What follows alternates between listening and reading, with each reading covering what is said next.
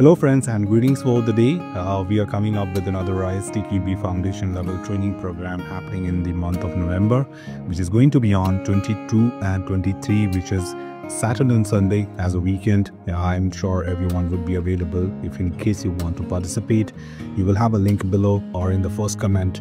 Just click on that, fill up the form, and our team will get back to you with all the details what you will need in order to get into this session. So this session is gonna be very very detailed, of course more detailed than my tutorials here.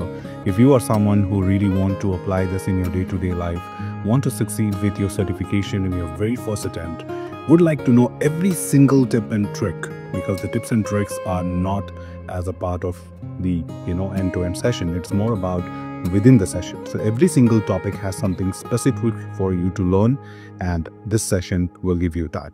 So do not wait just click on the link below and join this particular session.